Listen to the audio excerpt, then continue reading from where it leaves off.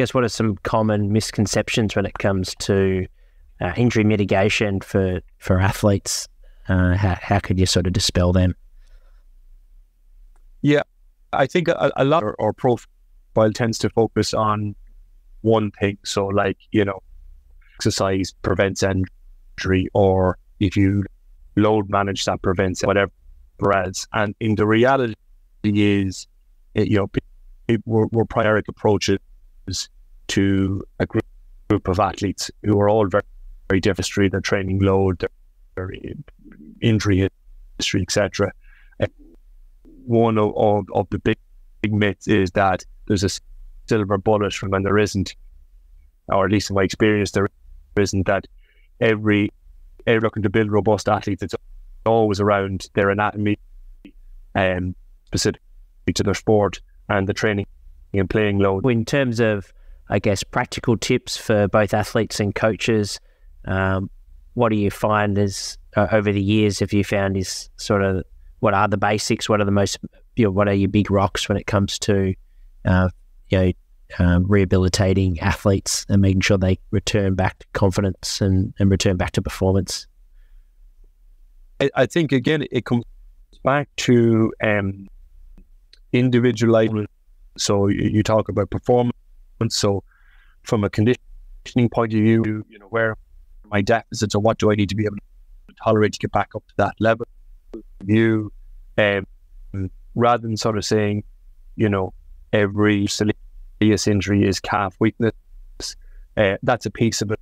But so is so is your explosiveness, so is your running mechanics, and so having a very broad all the components that can contribute to that injury. When you're working with an athlete one on one or you're managing a group uh, of athletes, how do you find that balance on knowing when to, to push and when to pull back? Um, you know, in the moment, so obviously you've got your plan.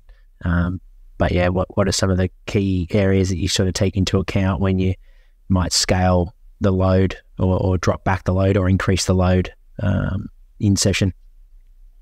I think, yeah, um, you know, starting with the very important, you know, you have an idea of what their strengths and weaknesses are, and then what you want this training block. Um, there naturally is a, you know, over for an intensive training block accumulates over, over time. So building in those appropriate recovery periods are important. Um, but, but you, you, you need to provide a four week block or a six week block. But again, depending on their training history, some athletes will be able to tolerate more, or some athletes will be able to tolerate less. Each session on its own merits and making sure that that we're maximizing the quality of that session is very important. Going back to sort of uh, rehabilitation uh, for, I guess, groin injuries, um, what, what are some of the most important exercises do you feel uh, when if someone's got a groin pathology and they're, they're returning back to their field of sport, but um, they're in a phase where they might be just straight line running in the in the current phase. Um, what are some areas that you need to sort of develop in the gym to bridge the gap for what they're not getting in on the field yet, to, and, and to be able to prepare them for sprinting and agility? Yeah, I think you, you could split that a little into two: groin injury, a, a muscular tendinous tear. Obviously, we need to redevelop the strength of that injured muscle group uh, so it can tolerate the load. Uh, I think a lot of injuries, the focus on rehab is the frontal plane and hip adduction in particular. They're very powerful hip flexors, uh, and many of the injuries in terms of excel are more to do with the sagittal plane than they are alone to do with a, a kick.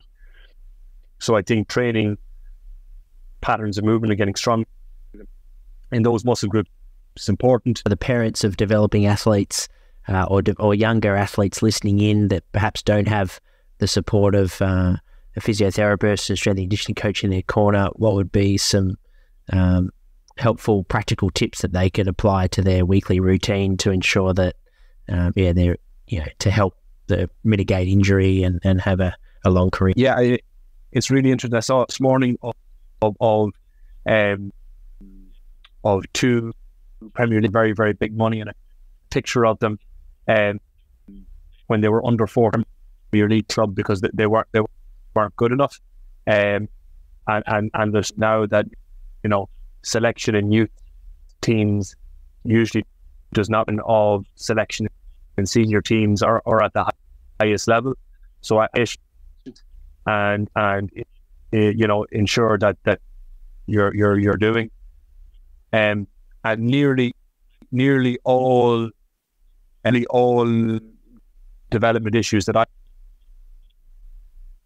I would see, and obviously I'm biased by being from management, uh, or sorry, trying to to to do, do too many things with too many sports sports